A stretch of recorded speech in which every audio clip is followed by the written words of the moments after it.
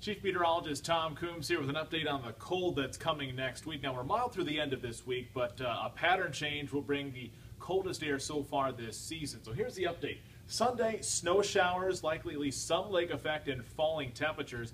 It will be windy as well, and that's always not the best setup for at least heavy lake effect snow. Monday is the coldest day so far. We'll see highs in the teens, but still we're talking nowhere close to how cold it was the past couple of years with weeks of very cold air. We're talking about a day that's going to be very, very cold, especially with the wind chill below zero. Tuesday, a cold start, but then we're getting back out of at least the very cold pattern. Here's the weather setup as we go Thursday. You can see still very mild weather as we go through Friday, and then the cold air seeps in as we go into the weekend. Looking at Sunday, cold air working in across to Warm Lake, Michigan.